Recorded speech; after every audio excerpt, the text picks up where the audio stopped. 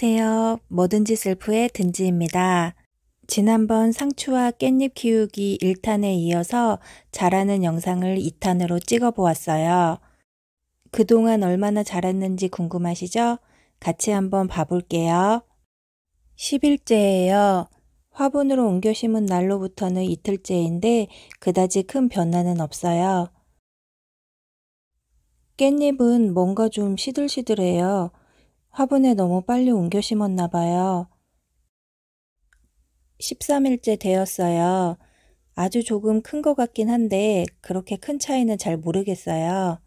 화분에 옮겨주면 금방 쑥쑥 클 줄 알았는데 그것도 아닌가 봐요. 깻잎은 하나둘씩 죽어가고 있어요. 흙에서 곰팡이가 나기 시작하더니 상태가 점점 안 좋아지고 있어요. 그때 뒷산에서 퍼온 흙에서 커피 향이 조금 났었거든요.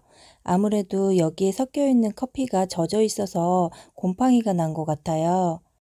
원두 커피 가루가 좋은 비료가 되려면 바짝 말려서 사용해야 되는데 그냥 사용해서 그런 것 같아요. 다행히도 지난번에 화분에 옮겨 심고 남은 씨앗들을 버리지 않고 이렇게 물에 계속 키웠거든요. 이거를 다시 화분에 심어줘야 될 것 같아요. 지난번처럼 화분에 잘 옮겨 심어 줄게요.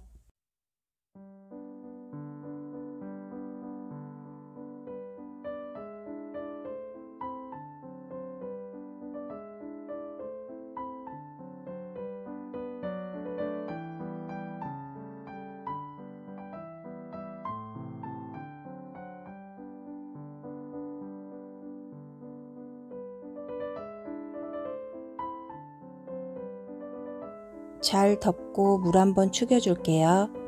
몇 개 되지 않네요. 18일째 되었어요. 상추는 성장 속도가 빠른 줄 알았는데 화분에 옮겨 심은 뒤로는 그렇게 빨리 성장하는 것 같지가 않아요. 이 정도 자랐어요. 그래도 잎이 새로 하나 더 나온 것 같아요. 물은 매일 주고 있는데 지난번에 바나나와 귤 껍질로 액체 비료를 만든 것을 물에 희석해서 주고 있어요. 다행히 깻잎도 잘 적응한 것 같아요. 잘 자라고 있어요. 22일째예요. 점점 더 자라고 있어요.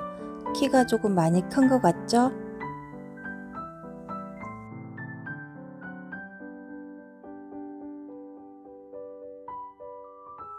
다행히 깻잎도 잘 자라주고 있어요.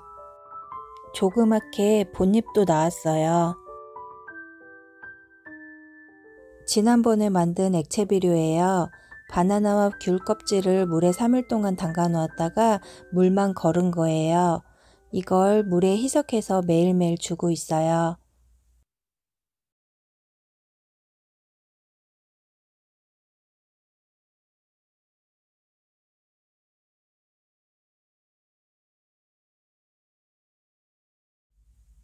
아침 출근 전에 매일매일 이렇게 정성스럽게 물을 주고 있답니다.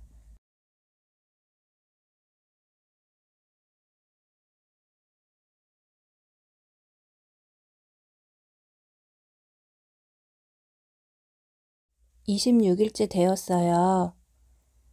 상추가 넓고 튼튼하게 자라야 되는데 이상하게 줄기만 길다랗게 계속 자라는 것 같아요. 그리고 힘도 하나도 없어요. 뭔가가 잘못된 것 같아요. 이렇게 줄기만 길다란 상추 보셨나요? 그리고 힘이 하나도 없어서 축 처져요, 계속. 검색을 해보니까 이런 걸 상추 웃자람 현상이라고 하더라고요. 웃자람 현상은 일조량이 부족하거나 수분이 과다할 때 생긴다고 하네요. 아무래도 매일 물을 너무 많이 준 것 같아요. 그에 비해 깻잎은 아주 잘 자라고 있어요.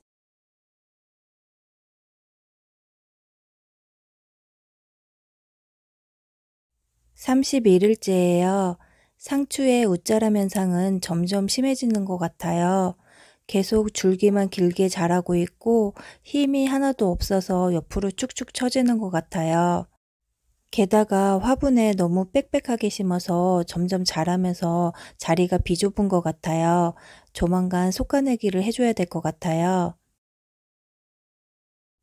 깻잎은 걱정했던 것과 달리 아주 잘 자라주고 있어요. 본잎부터는 우리가 흔히 알고 있는 깻잎 모양이에요. 아주 조그만 게 깻잎 모양을 갖추고 있으니까 너무 귀엽고 신기해요. 그리고 가까이서 맡아보면 깻잎 향도 난답니다. 35일째예요. 며칠 사이에 그래도 조금 더 자랐어요. 우려와는 달리 입도 조금 더 커진 것 같고요. 그래도 웃자람 현상은 계속 일어나는 것 같아서 뭔가 대책을 세워줘야 될 것 같아요. 37일째예요. 상추가 자라면서 너무 비좁아졌죠? 오늘은 솎아내기를 해주면서 더 큰 화분에 조금 옮겨주려고요.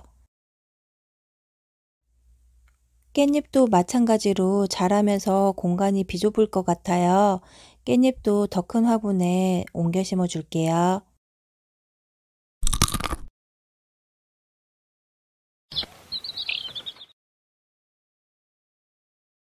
먼저 상추 뿌리가 상하지 않도록 살살해서 다 뽑아 줄게요.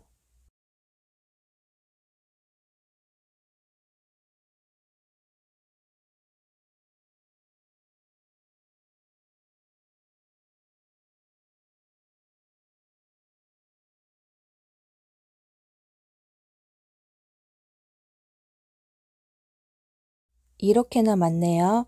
안 그래도 힘없던 상추들이 뽑으니까 더 힘이 없어졌어요. 빨리 심어줘야 되겠어요. 새순이 나오고 있기 때문에 떡잎도 가지치기 해줍니다.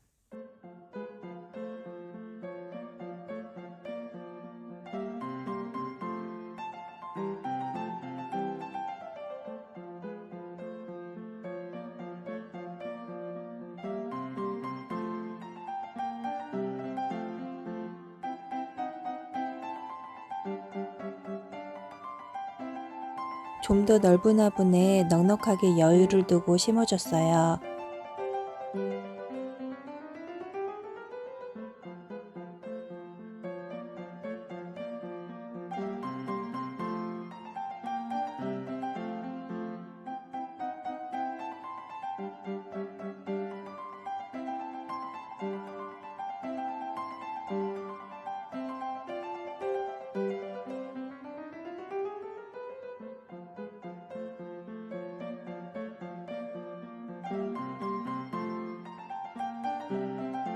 깻잎도 중간중간에 있는 것을 뽑아서 솎아주기 해줄게요.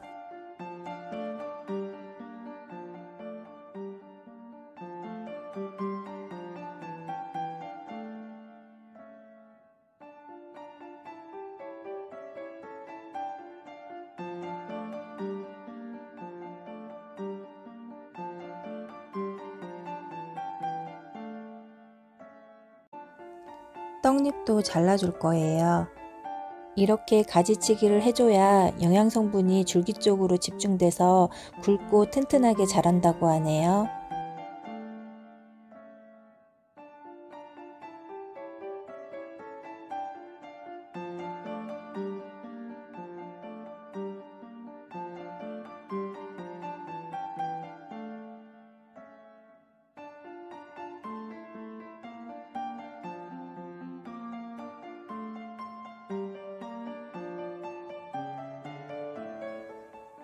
아무래도 본잎도 한 장 더 제거해 줘야 될 것 같아요.